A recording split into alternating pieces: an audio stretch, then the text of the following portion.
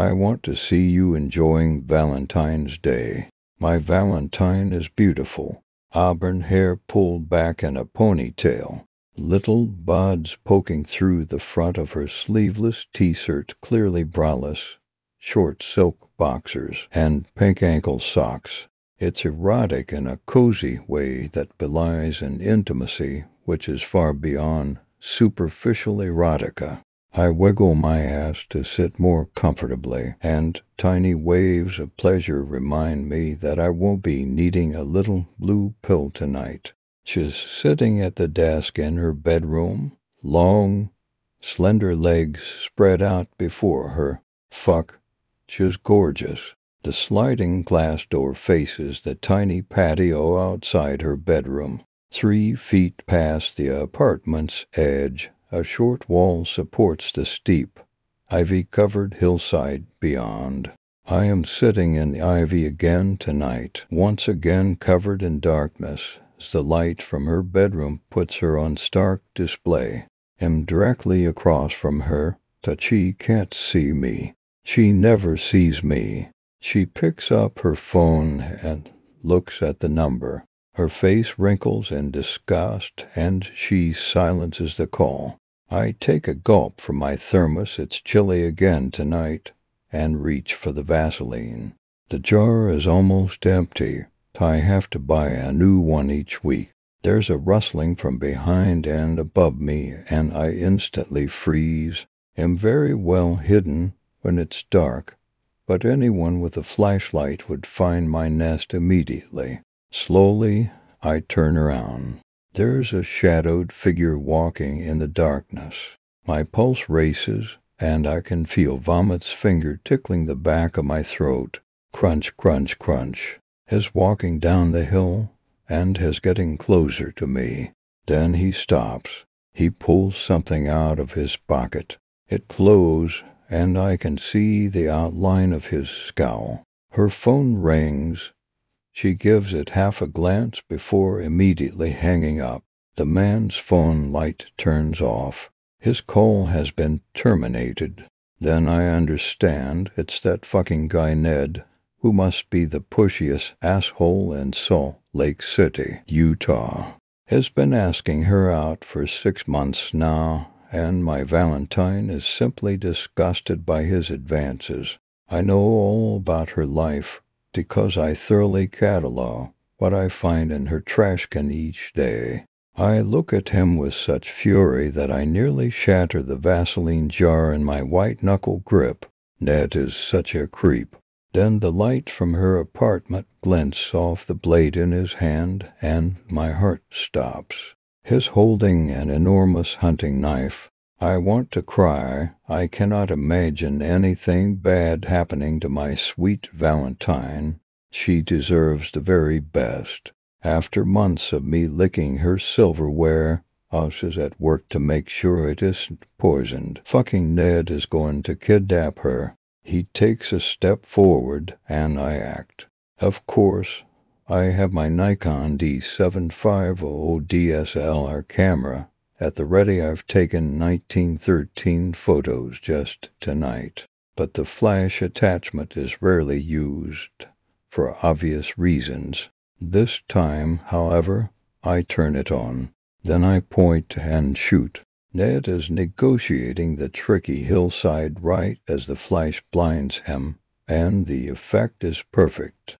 I catch an instant of pure shock on his face. He tumbles, and comes to a rest at the bottom of the hill, right where the short retaining wall meets her patio. All is still. I crane my neck slowly, surely, to see why he isn't moving, and from my angle, it's obvious. The hunting knife has come to rest deep in his left temple. One eye has popped, and the socket is filled with nothing but white jelly. Has dead. She glances outside with a look of concern and a furrowed brow. She might have noticed the flash from the corner of her eye, but she hadn't been facing me at that exact second. And her door is fucking soundproof, trust me. Moreover, from where she sits, 'tis impossible to see the pitch black hillside. It's okay. When the morning light comes, it will illuminate my gift to her. She will see Ned's fresh corpse in her backyard, and she will know that there is a love all round her that she cannot see, always watching. Happy Valentine's Day, my sweet. Story 2 A random woman on the street gave me a Valentine's Day card. I wish I hadn't opened it. It read, Will you be mine? There was no name, no one to whom it had originally addressed, just a crumpled red envelope and a mostly blank white card with the aforementioned question written inside on the right. The black ink had smeared, either at the time of writing or sometime during its travels through the curious woman's pocket. It somehow made the question seem sad, desperate. She gave me one last glance, then stepped away, mingling with the crowd that seemed to appear from out of nowhere that very moment. I didn't know what to do, and had anyone else given it to me, I probably would have tossed it. But the woman had been strangely, unconventionally attractive, so I kept it. I used it to buoy my spirits after what had been a particularly frustrating day at work. She could have given it to anyone, but she had chosen me. Back home, I set it on the kitchen counter and started to make myself something to eat. A few minutes into dinner preparations, I got this feeling in the back of my neck like there was someone watching me. Turning around, I scanned my small apartment, able to see the entirety of the kitchen and the living room beyond from where I was standing at the stove. There wasn't anyone in sight, and yet I still felt as if I were being observed. It was around 8 p.m. Night had already set in, but my living room curtains were still open. I crossed the room, closed them, and returned to the kitchen. The ominous feeling lingered, but I ignored it and finished cooking. Halfway through eating dinner, there was a knock at the door. ID never had anyone stop by to visit before, so the occurrence was at once alarming. I sat there, frozen mid-chew, hoping that there'd been some kind of mistake. But another knock came, rising from the table, I gripped my fork in my hand and crept toward the front door, trying not to announce my occupancy of the apartment. Reaching the door, I peered through the peephole, not exactly dreading what I'd see, but hoping not to see anyone. My hope panned out there wasn't anyone there, and yet this unnerved me because I hadn't heard any departing footsteps. Carefully, fork gripped Tightly in my right hand, I opened the door an inch. No one occupied the space beyond, so I opened it all the way. The threshold was empty. Both ends of the hall were empty. I didn't notice the evidence that anyone had even been there until I took a tentative step into the hall.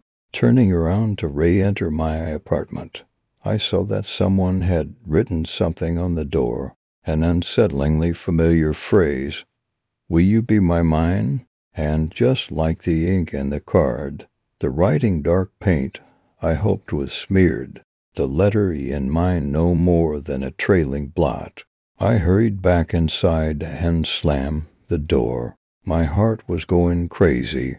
I sensed that something was happening, that I was being subjected to some kind of prank or harassment. I had to hold on to the wall as I made my way back to the kitchen, my anxiety making my steps unsteady. As I returned to my seat at the table, my appetite utterly lost, I was suddenly beset with the urge to look at the card again, to read it again, even though I knew what was written inside. I went over, grabbed it from the counter, and sat back down at. Shoving my unwanted dinner aside, I withdrew the card from its envelope and set it on the table, a feeling of mounting unrest making my hands tremble. The blank white face of the card seemed to augur some terrible yet unguessable news, an infinite array of cryptic possibilities. Finally, I willed my hands to open the card. Inside, written on every single inch of space, was the phrase, Will you be mine? over and over, in every direction, some instances more erratic than others. There was a terrible and terrifying variety to the scribblings. ID never felt more disturbed by such a relatively simple thing. Will you, Beman? Will you, Beman? Will you, Beman? It threw the card away, but after a few moments spent on the couch trying to calm myself, I got up, fetched my candle lighter, and burned the card in the kitchen sink. As the flames consumed it, crumpling and blackening the material, I felt a new sensation. Not exactly nausea, but a bodily lightness. I gripped the counter, attempting to steady myself. It wasn't until I had practically keel over that I noticed the fumes weren't gray or black or the color of any smoke ID. Seen before but red, as red as the envelope the card had been in. Consciousness began to ebb away just as I heard the front door open. I remembered then that I had locked the door and merely slammed it in my panic. You idiot, I thought to myself as darkness took me. I awoke on my kitchen table, and the first thing I noticed was chill I was naked, had been stripped completely. Given the circumstances as terrible as they were, I expected to be bound, but I was not, and promptly rolled off the table when I shifted my weight. I landed hard on my shoulder and briefly hoped that I'd pass out again, if only to stop the flare of pain. Recovering, using the table for leverage, I stood up. My senses were rekindled completely when I saw what was smeared on the table's surface. It was, unmistakably, blood. My blood, as if activated by the sight, my nerves exploded, and pain coursed down the front of my body. I fell to my knees, my body overwrought with agony. With one eye open, the other closed, as if that had somehow mollified the painy examine myself. From the top of my chest all the way down to my groin was the word mine, carved into my skin as erratically as the darkly enigmatic question in the card. It was like I had been claimed, the word lacking a question mark, the wound still fresh a grisly statement of ownership. Every movement, no matter how subtle, brought a new spike of breath-stealing pain, so I just stayed there, kneeling on my kitchen floor as errant streams of blood trickled from the wounds that had not yet coagulated. My one attempt to call for help brought so much pain that I almost fainted, so I refrained from doing even that not wanting to bleed out while unconscious. I stayed like that for over an hour until my body had grown somewhat accustomed to the debilitation. Then I stood, cringing against the only slightly diminished agony and shedding no small number of tirsan, called the police. They came, I was taken to the hospital, and they investigated what they could of my apartment and the evidence therein. I've yet to hear any news of a lead or idea of the perpetrator. They've only informed me that the card 1ID Burnett had been taken into evidence. I was shocked at this, and it must have shown on my face because the officer asked if something was wrong. I asked him how they had recovered the card, given what I'd done, and he said that there wasn't anything wrong with it, that the alleged fire hadn't damaged it at all. An itch in the back of my mind compelled me to ask him another question, even as I grappled to comprehend what had told me. What did the card say inside? The officer met my eyes for a moment, a look of slight bewilderment on his face. It said, I'm glad you're mine. Wants him well enough to leave the hospital, him finding a new place to live. The landlord can have everything in my apartment. I'm never going back there. For the first time in my life, I'm happy I'll be spending Valentine's Day alone. Story 3 Do not open until Valentine's Day. I need your help. Every year around February, I get like this. My appetite is absent my thoughts become cluttered.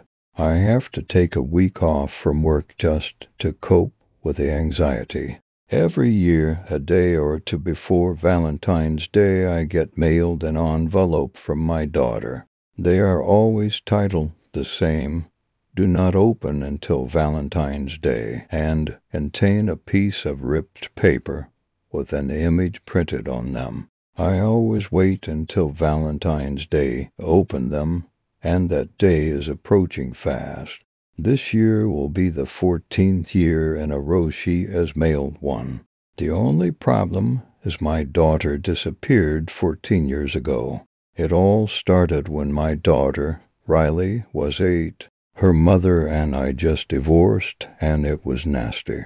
We fucking hated each other. He'll admit I can be stubborn sometimes, but according to her, every bad thing that happened was my fault. Her finger was always pointed at me. There were so many nights Riley couldn't sleep because of our yelling. Looking back, the divorce was in our best interest, especially Riley's. But still, I can't imagine how difficult it was for Riley watching her mother and I drift apart. My lawyer was expensive as shit, but worth it when joint custody was granted. My marriage was terrible, but it brought the flower of the world into my life, Riley. Arrangements were made for each of us to keep Riley to weeks at a time, and both of us living in the same school district made transport easy. Having to deal with her crazy mother on occasion was a pain in the ass, but well worth it to see my girl. As she grew up, her curiosity astonished me and opened my eyes to things you miss as an adult. She loved trips to the zoo, pushing her doll in a stroller and swinging. I taught her how to ride a bike with no training wheels, and she taught me how to appreciate endless hours of Disney movies. My favorite times with Riley were holidays. My side of the family treated her like a princess, and she soaked up the attention like a sponge.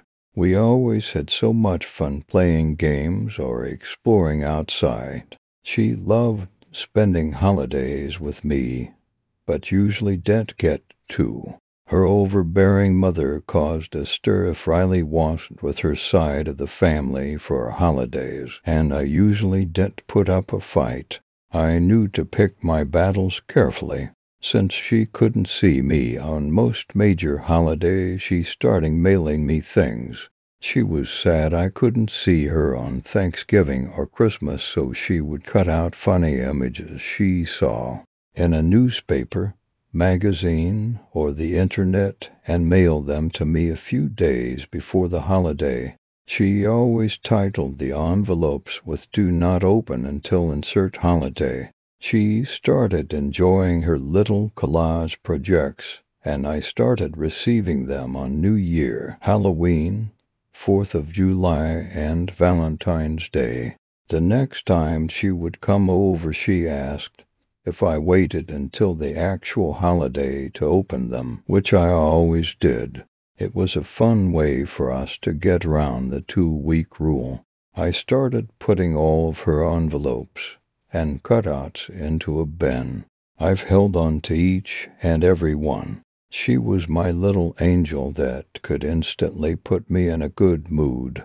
Her body may have been small, but her heart was large enough for the two of us. I don't know how she turned out so caring after all the shit her mother and I put her through, but God, I cared for her so much. One morning, I was woken by an authoritative knock at my door. The police eagerly searched my home and questioned me for hours that I was more confused than helpful. I lost my shit when they said Riley was missing. I sucked up my pride to join my ex-wife in helping the police any way we could. The search began immediately. The Amber Alert had already been issued, and the whole community searched for my little angel. She has never been found. After getting my ex-wife's, neighbors, and others' testimony, the police pieced together their best assumption as to what happened.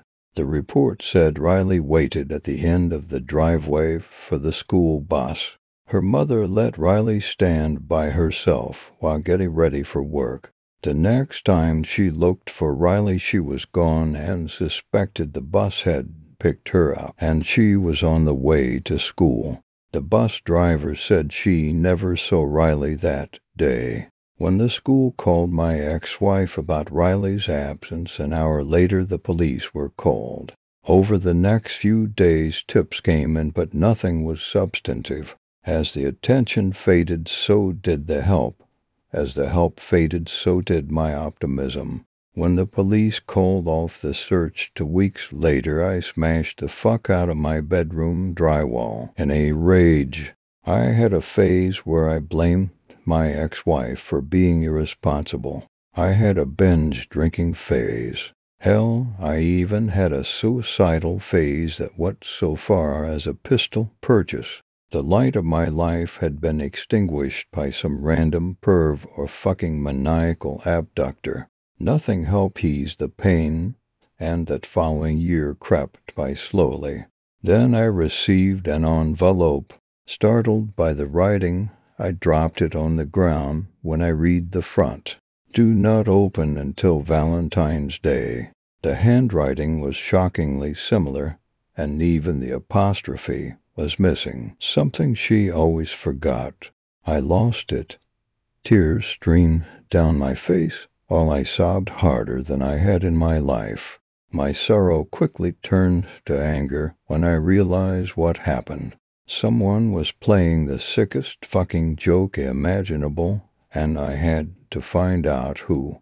I called my ex-wife, but she brushed off my anger as pathetic. I called a few friends who might have known something, but no one did. When I finally opened the envelope the only thing it contained was a small torn piece of paper with a printed image of a monkey. After calming my rage and getting my wits about me, I threw everything into a plastic bag to take to the police. Did one of her letters get trapped in the mail only to be sent a year late? Is it a cruel joke? Is her abductor taunting me? Is Riley live? None of my questions were answered after they analyzed the mail. No fingerprints, no fibers, no DNA, fucking nothing. The only helpful information I received was, since there was no stamp or return address, then someone put it in the mailbox personally. After six months of testing, the envelope and monkey image was returned to me. I put it in the box with the rest of Riley's gifts. The event was so peculiar it never left my mind. I spend hours going over possible scenarios of her disappearance and how one of her gifts got to me a year late. I spend that year a recluse from my family and friends while trying to make sense of what happened.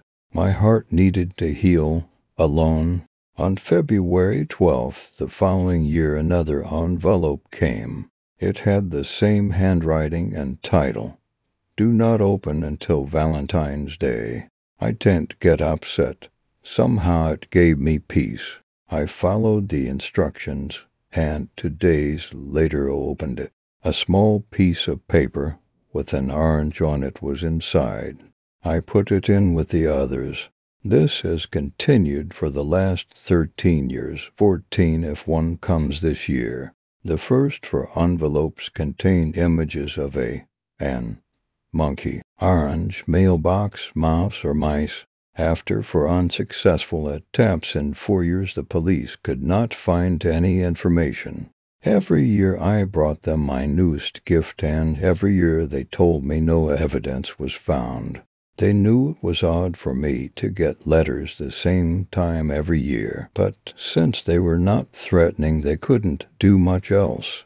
They advised I ignore them since it could be a prank. After the fourth year, I stopped showing them. The next three years, I was mailed images of a and Yokaite igloo. A few months after I received the cutout of the igloo, I was called about Riley's disappearance. A young college filmmaker wanted to do a low budget documentary on her disappearance and asked permission from me. Publicity could only help Riley's situation, so I agreed. The interview was difficult, but the college kid was accommodating enough to interview my ex wife on a different occasion. I never mentioned the envelopes. After it was released online, the cops got a few more tips, but nothing materialized. The next February, I set up a camera to record my mailbox. I wanted to catch the person in the act. However, after getting another envelope, I searched the footage to find an error had occurred. The last 12 hours were just static. This new envelope gave me a rush while opening it. It was like Riley was still talking to me.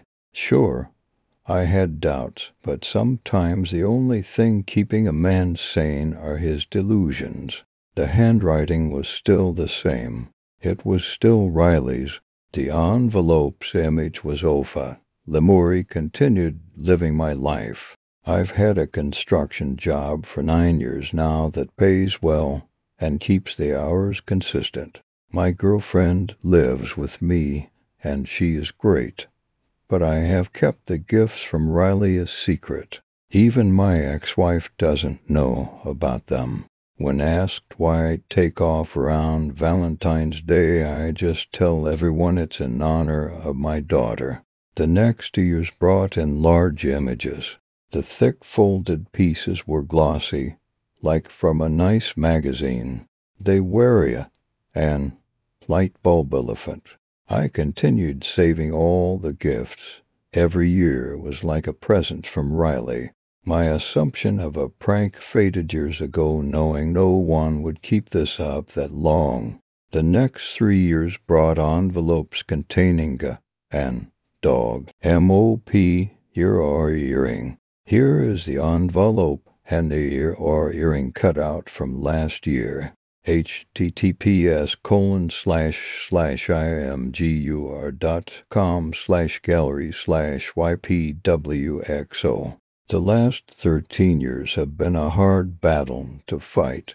Not knowing where Riley is or if she is even still alive eats at my soul. I've managed the pain as best I could, but these damn envelopes bring it all back. I have no idea why anyone would do this It's a prank, but I equally can't believe it's anyone other than Riley.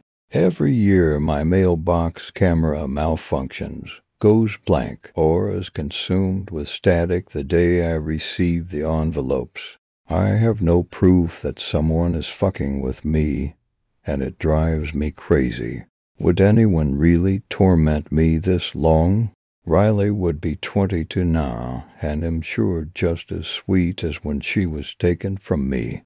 Valentine's Day is approaching, and the anxiety has me reaching out for guidance. I can't make sense of the situation, so am asking for any help or solutions to this strange puzzle. Story for the perfect gift for Valentine's Day.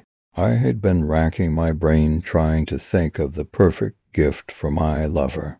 It had to be something beautiful, but also thoughtful. I couldn't just give her something that was meaningless or would break in a few years.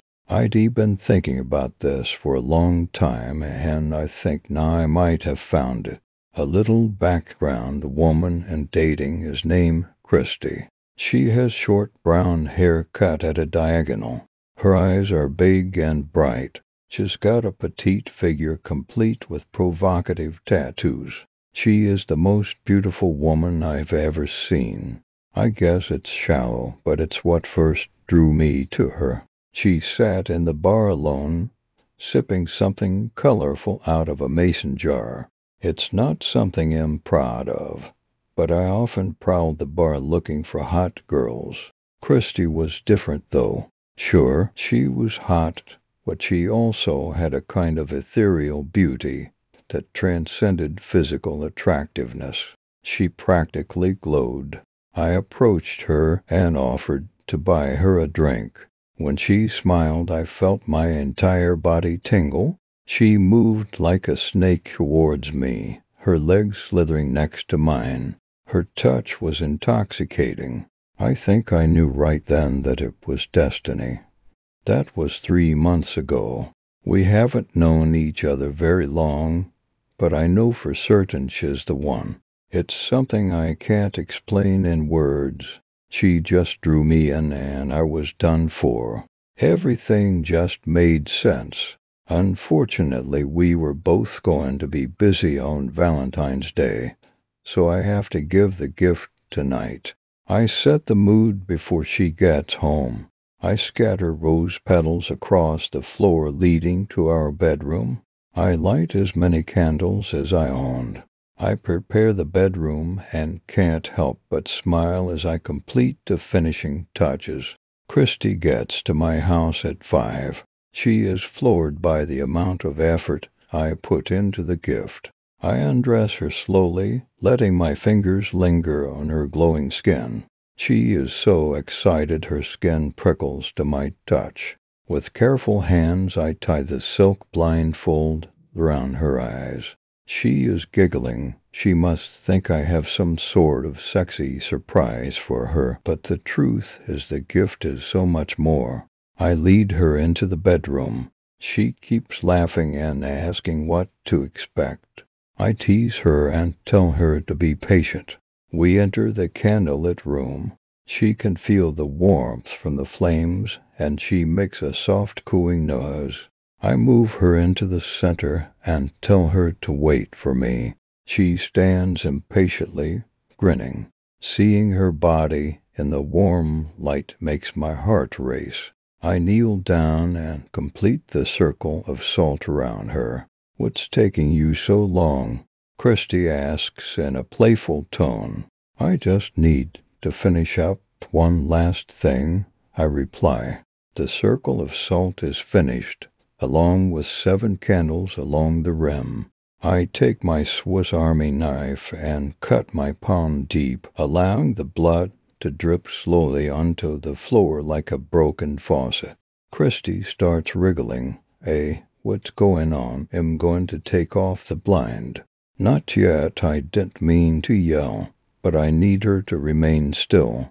She stops moving and wraps her arms around her chest. I go to the walk in closet and open the door. Lying there, as she usually does, is my lover. Her wrinkled skin is so thin I have to wrap a blanket around her to keep it from tearing. She is unconscious. She has been for the past six months. Her gray gnarled hair snags on my fingers as I lift her carefully. I walk over to the circle. Christy is obviously uncomfortable. Not that I care. As long as her body is intact, then the gift will be completed. I lay my lover down inside the circle. The flames of the candles burn hotter, and a howl of wind whips through the air. Christy whimpers, I don't like this. Shut up, I tell her. She backs up and touches my lover with her foot. She screams and rips off the blindfold. What the fuck? She runs towards me, but is caught by the circle of salt and falls to the floor. She stares confused at the invisible wall. Her nose bleeds slightly. I lean in closer. Don't do that again. You'll hurt yourself. Christy tries to scramble away from the body on the floor. What's going on? She is desperate. They are always desperate. I sit down on the floor, facing the two women, Christy, young and vibrant, and my lover, Albel, trapped in the dying body of an elderly woman. My excitement rises. With a stern voice I recite, Chu-O plays the harp, who makes ashes of men. Come back, come back, my dying love undead. Take the saw, doom her instead. Christy begins screaming. My smile flashes in the dying candlelight. She grasps at her throat as it closes. She tries to call for help, but her voice is fading. Albel screams through her, and the body falls to the ground. I pause a moment in the darkness. My love, Christy says open with a start. She sits up and looks at me. Her smile is one I have known for thousands of years. You have done well, Albel says. She stands shakily, touching her new naked form. This body is beautiful. You deserve nothing less, I say to her, bowing deeply. The old woman begins crying. Albel stands over her. What would you like to do with the girl? It is up to you, my lover. Albel motions to me, and I stand. She takes my hand and steps outside of the salt circle. I drag Christy, now trapped in the old woman's body, onto the bed. Albel is pleased with me. She uses her new teeth to bite into Christy's neck, drinking her aging blood. Christy tries to scream, but nothing comes out. Her throat is dry and she is almost dead. Albel rips a piece of flesh from Christy's stomach. She beckons and invites me to join. Soon we are both covered in the gore that was once Christy's life. Albel takes a momentary break from her meal and strokes my face. This is a wonderful gift, she says softly. I lean into her hand. You deserve this, and Story so much five. more. A girl asked me out for Valentine's Day. You still haven't told me why you asked me out for Valentine's Day, I reminded Kyrie. Don't worry, she smirked. If you haven't figured it out by the end of the night, I'll tell you. Her gloved fingers slid between mine and she gave my hand a little squeeze. I couldn't believe this was happening. I'd had a crush on Kyrie since the moment we met, even though she'd shown up at my apartment with a guy I couldn't stand. Johnny was my roommate's best friend. He and his crew only ever showed up after midnight, drunk, high, and looking for trouble. Things were always broken or missing in the morning, but my roommate Nate refused to control his friends. The night I met Kyrie, I woke to the sound of drunken giggles and the apartment door slamming open. Waiter, you just standing out there for? A slurred voice shouted. Come in, it's gold, a groan, Johnny. In the main room, I could see my roommate Nate leaning boozily against the wall. A big blonde girl tried to dance on our coffee table and kicked a hole in it. Meanwhile, Johnny was ranting about a band he hated and preparing a line of coke on a handheld mirror. Blood rushed to my head. I was shoving my way toward him before I had time to think. My parents had struggled with addiction all their lives, and a dirty needle had been my mother's death sentence. I didn't want to see that stuff, didn't want it in my home where I lived. Put that away. Get it out of here, I snapped. Come on, man. It's my party fuel. Don't like it. Go back to bed, Johnny sneered. A short girl with frizzy brown hair watched me carefully. It's his house, Johnny. His rules. The girl rolled her eyes. Don't like it. Get your own place instead of mooching off of Nate all the time. Johnny turned red and glared at Mebiot. He also put the coke away. Kyrie introduced herself, but I can't remember anything about the conversation. I was too focused on her dark hazel eyes and how my heart was racing in my chest. After the party, she did something none of Johnny's friends had ever done. She stayed to help clean up. By the way, Kyrie asked, wiping a red jello shot off of the counter, what are you doing for Valentine's Day? Well, it's a Tuesday, so probably work, and then the gym. I laughed, then started rambling. I couldn't help myself. I mean, I'm sure I'll end up getting on a dating app or going to a bar, because nothing's worse than sitting at home alone on Valentine's Day. How about I pick you up at eight? Kyrie asked.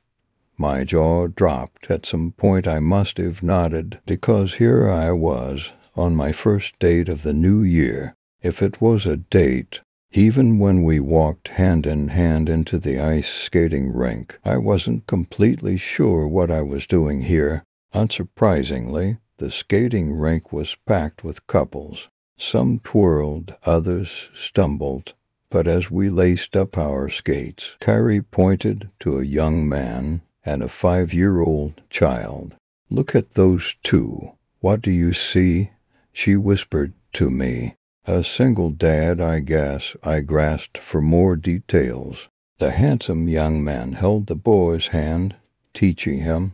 They're both struggling, so I guess it's their first time here and judging from the way he keeps looking around and checking his watch. He's probably meeting somebody here. You notice things. Kyrie raised an eyebrow, impressed. That's one of the things I like about you. Keep watching. We made our way onto the ice. I did my best to keep an eye on the pair in the sea of skaters. A strikingly beautiful woman with raven hair stepped effortlessly onto the ice, all smiles. The man grinned and waved. His date was here. He embraced her, but Isba tried to pull away. The kid stomp skated away, looking over his shoulder with wide-eyed fear. His father and the new date followed. The man barely seemed to notice his son. He just stared into the woman's eyes dreamily and allowed her to lead him around the ice. I had to admit I understood the feeling. I couldn't say exactly what it was that made the raven haired woman so special, but it was hard to look away from her. She twirled her date gracefully, and pressed him against the rink barrier, leaning in close. She whispered something into his ear. He lay back and closed his eyes, savoring it like he couldn't believe his luck. Meanwhile, the bow was running out of energy. He grabbed his knees, panting, and the raven haired woman shot across the ice toward him like a swooping owl. An expert skater, she clamped a hand over his mouth with one hand and guided him to the exit with the other. It was over before I could react, before I even realized what was going on. A sea of happy couples blocked my path to the door. The boy's father rubbed his eyes, glancing around like a man waking from sleep. Then the panic set in. He stumbled around the ice, grabbing people, asking if they'd seen his son. Kyrie tugged my hand gently, urging me to follow. But by the time we reached the packed lobby and clumsily pulled off our skates, I knew that it was already too late. The raven haired woman and the boy were long gone. I stared, slack jawed, at the man's babbling attempt to explain what had happened to the rink attendant. Kyrie tugged my hand again. Weshall, go. You knew, in the snowy darkness of the parking lot, I confronted Kyrie. How she smirked and kept walking. Hey, I shouted. That man's son could be in danger. What's going on? Like I said, you notice things. Am confident you'll figure it out. Kyrie looked up into the cloudy night sky and saw an unreadable expression on her face. But first, you sound like you need a drink. I know a club downtown. XXY read the pink and purple neon letters above the solid metal door. I'd never heard of this place here, even this street before. But then I hadn't been to a club since college. I really, really hoped Kyrie wouldn't expect me to dance. A burly white guy in a skin-tight black t-shirt nodded to Kyrie and opened a solid metal door. A feeling of foreboding filled me as I looked down the dark staircase on the other side. How much did I really know about Kyrie? Did I really want to go down there with a girl who I had only known for a few hours? With a girl who had just watched a live kidnapping and done nothing to stop it? Kyrie looked up at me with her dark, curious almond eyes. Before I knew it, we'd checked our coats and descended into XXY. With the glowing red lights, fog machine, and writhing shapes, the club reminded me of hell. The heat from so many dancing bodies made it about as warm, too. We squeezed our way through the sweaty crowd to the bar, where Kyrie gestured to a guy in a leather vest and chaps who looked like a supermodel. Moments later, he slid an old fashioned over to me. How had she known it was my favorite drink? I reached for my wallet, but Kyrie shook her head. Do you come here often? I shouted lamely over the pounding music. Almost never. Kyrie laughed. But there's something that I want you to see. I groaned inwardly. Not again. Kyrie gently touched my wrist she pointed to a tall, bald African man in a suit. His hollow eyes were locked on a skinny blond guy wearing a mesh t-shirt. The college kid was clearly hopped up on the Red Bull vodka drinks. That were the club's specialty, dancing his head off in the heart of the crowd. As the hollow-eyed man moved toward him, I realized that the man that just have a sunken face his eye sockets were completely empty, with nothing inside of them but hungry darkness. The crowd parted for him. People seemed unconsciously repulsed by the gaunt figure, even though I had the strangest feeling that they couldn't even see him. The hollow-eyed man halted just in front of the blonde dancer, and when he did, the young man froze. In fact, everyone froze, from the bartender to the raving crowd, all their heads dropped to their chests just as though they'd fallen asleep standing up. Deafening dance music boomed from the speakers for a completely still and silent crowd. The hollow-eyed man lifted the blonde dancer's chin. Their lips clamped together in a violent kiss. The dancer's throat grew swollen bulging as the hollow-eyed man sucked the life from him. I tried to move, but couldn't. I was just as paralyzed as everyone else. It felt like an eternity before the dancer crumpled to the ground, a hollow sack of skin and bones. Beneath his mesh t-shirt, he had the starved look of a death camp victim. The hollow-eyed man scanned the room, apparently satisfied for now, to my surprise and terror, he nodded in our direction before walking no, drifting up the stairs. The metal door slammed shut, and every head in the club snapped up at once. People blinked confusedly and resumed dancing, oblivious to the grotesque sight on the floor. Kyrie took her fingers off of my wrist and gave me a look I recognized. We as should go, Am I all right? I suggested, unable to control the shaking in my voice. Kyrie nodded and led me upstairs through the oblivious crowd. Outside, I lost it. Okay, I don't know what this is, but it is not a date. Hot? Kyrie put a fist on her hip. I thought for sure you would have pieced everything together by now. This isn't funny, I shouted. People are getting hurt. What the hell was that thing? Come with me to one last place. Kyrie grabbed my hand with both of hers.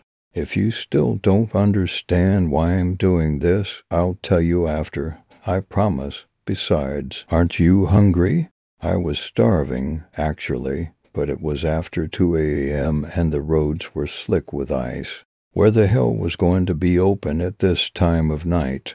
Thirty minutes later, Kyrie watched me wolf down my syrupy waffles and cheesy hash browns with a bemused expression on her face. So, what you wanna shoo me at a pancake house? I asked through a mouthful of food. I just wanted you to eat a nice meal so you don't start feeling faint. Kyrie smirked. Don't you believe me? I shook my head. I just saw a guy get his guts sucked out like he was a goddamn crazy straw. I'm not sure what to believe anymore. Good, that means you're getting closer to the truth. Kyrie ran her fingers up my forearm. Come to the bathroom with me. What, here? Nah, I looked around incredulously. Kyrie lifted an eyebrow and guided me toward the restrooms. I blushed, sure that someone would see when Kyrie yanked me by the collar through the door of the men's restroom. There was no one standing at the three sticky urinals or sitting in either of the two stalls, no one who I could see anyway. Kyrie took me into the smaller stall, locked the door, then pulled me up so we were both standing on the toilet lid. There was barely enough room on the white plastic for both of us. I could feel our chests pressed together, her fingers on my back. The restroom door flew open, and a guy in dirty black boot staggered in. Dumb slut, he moaned to himself as he struggled to find his zipper. I spent like thirty bucks on her tonight. She owes me through the crack in the stall door. I could see where the drunk braced himself against a urinal. It was Johnny. From where he stood, pissing, he couldn't see the pale, naked, genderless figure that was crawling out of the ceiling tile and down the wall. Kyrie covered my mouth a split second before I screamed. The pale thing approached Johnny silently from behind until its gnarled toes were practically touching his heels. Oblivious, Johnny zipped up, but before he could turn around, the pale thing stepped into him. Johnny's clothes and skin yielded like foam as it slipped on his flesh like a pajama onesie. His face shifted from shock to agony and finally to horror before finally settling into an expression of featureless calm. The new Johnny paused in front of the mirror, trying out his hands and fingers like stiff new gloves. Those hands combed apart into Johnny's usually unruly hair, then grasped his chest with the glee of a long cage animal finally set free. Every trace of drunkenness was gone. The door slammed shut as a shiny new Johnny left the restroom with swift, professional strides. What the fuck? I mouthed to Kyrie. She jumped gracefully down from the toilet, unlocked the door, and motioned for me to follow. There's there as things like that everywhere, aren't there? I stammered. We just don't notice them. Especially tonight, Kyrie nodded. All the eager couples, the first dates, the hookups, the alcohol, and loneliness Valentine's Day is a feast date for creatures like these. You said that there was nothing worse than being alone on Valentine's Day. I wanted to show you that you were wrong and to protect you. If you did go out, but we, when you yelled at Johnny that night, I could tell that you'd lost someone special. The addiction Kyrie rolled up her long sleeves. The track marks were too obvious. I couldn't stop myself from reaching out to touch them. I did too. Kyrie went on myself. Two horrible truth struck me at once. There was no pulse in the veins beneath my fingertips, and according to the mirror across from Yusi was alone in the men's room. I was already on my way out from an OD when my Sarah sunk her fangs into my neck. It's a shame if we'd met when I was still alive, we might have been very happy together. I backed away until my back pressed against the cool tie wall. I hope you heed my warning. when I tell you to hurry home and that you remember this lesson for next year. Kyrie smiled. The night is young, you see, and I still need to feed.